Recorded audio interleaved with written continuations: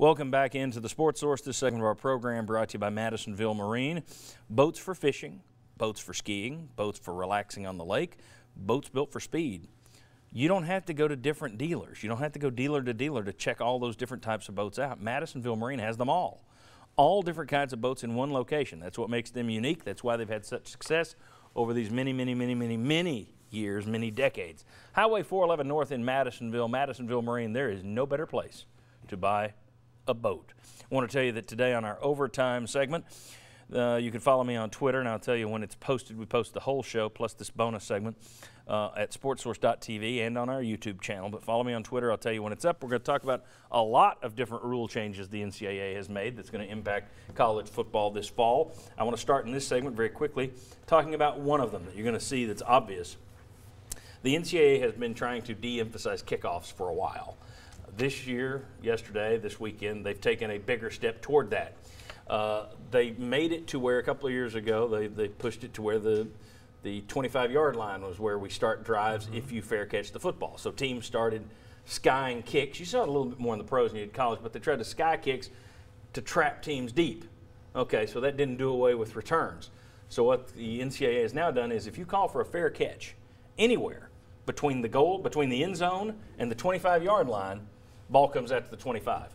So if, if they kick it to the 10 yard line, you wave fair catch, ball comes to the 25. In other words, we don't want you returning kicks. Thoughts, gentlemen? Don't like it. It's for safety. Yeah. They've seen more injuries on kickoffs than any other play. And, and the other part of that is they said the research showed that kickoff returns do not have a significant impact on games for the most part. So you got a high risk for a low reward. Well, how far does that research go back? Are they doing it since they've started de-emphasizing the kickoffs, or are they looking back to where it, it, was a bigger impact in the game. Obviously, that's less than as time has gone on, but I'd like to see where those numbers. Yeah, and so many so many teams were getting good at that directional kick to lock in a corner yep. to where they pin the guy back there that he's lucky to get it to the 15, and that's when you have a lot of those full speed collisions right there when you got guys get a running you know 30 miles an hour almost because of the high kickoff. So I don't know. I think that's a little drastic, but we'll see how it plays out. What's interesting is at this point, to me, I mean, just kill it already. It's clear you don't want kickoff returns in the game. You see mm-hmm. injuries mm-hmm. there, which okay, if that's if, if, if you see that that's a play that causes a lot of injuries more so than others te- over history, okay? I've heard coaches say that. Mark Richt was a big proponent of that, saying it's not going to be in our game for a long time or for, for a long while to come. Uh, okay, just get rid of it. But this death by a thousand paper cuts, right? They're, they're trying to do I'm not a fan of that. And, and I think even, it's just just do it or don't do it. And even the, the don't keep changing it every year. The medical staffs have a hard time checking on concussions on a regular play. On a kickoff, it's almost impossible sometimes to, if you're following the ball, to see that violent collision 10, 15, 20 yards away. That's another thing they try to point out.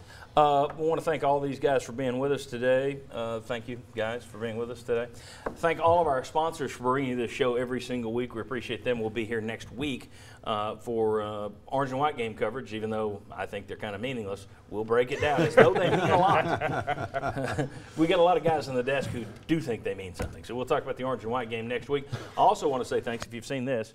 The Nashville Predators fans out there have noticed that. Uh, thanks to um, my friends at Sports Seasons out in uh, West Knoxville. Gave me a free hat, and I'm like, well, if you give me a free hat, I'll give you a free plug. so there you go. Uh, Nashville Predators fans, get out there, pick up that hat. Uh, it's got the guitar pick. See, that's what that is. Yeah. Uh, picked that up out there. And also, before we close, I wanted to send out our condolences to the family of uh, Lady Vol legend Daedra Charles, uh, passed away this weekend uh, at 49, young. Um, our condolences to her family. Uh, certainly, uh, Lady Vol fans remember her in a positive, positive light from a great, great time when she was on that team. We will see you next Sunday right back here on the Sports Source on Channel 6. Thank you.